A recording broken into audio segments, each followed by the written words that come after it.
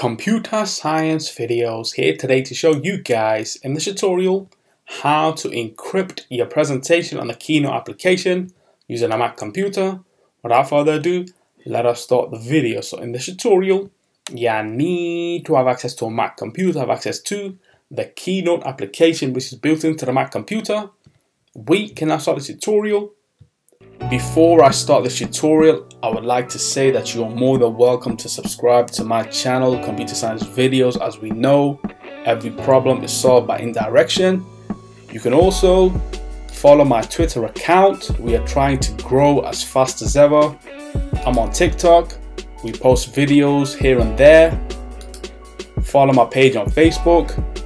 I'm also on Instagram you are more than welcome to support me on PayPal. Let's now focus on the video. So now let's go around to the dock. Go to Launchpad, go to the Keynote application. Search for this, open up the Keynote application.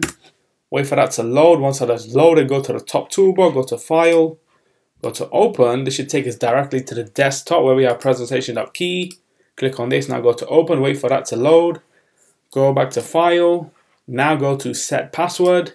This will allow us to encrypt the presentation itself. So I'll just choose a very basic password. Let's verify that now. We can have a password hint if we find ourselves in a position where we know the password but we have forgotten it and henceforth that one word or phrase might trigger the password to come back into the memory. So let's just say numbers. Remember this password in the keychain. Let's not remember that for the moment. Set the password. And now, Command S to save. Let's just quit Keynote for the moment. And so we have the icon on the desktop for the presentation within the Keynote application as a lock. If I were to let's just double click on this, it will ask me for a password which I have entered now on screen. Click on OK. And there we go. We can now quit Keynote.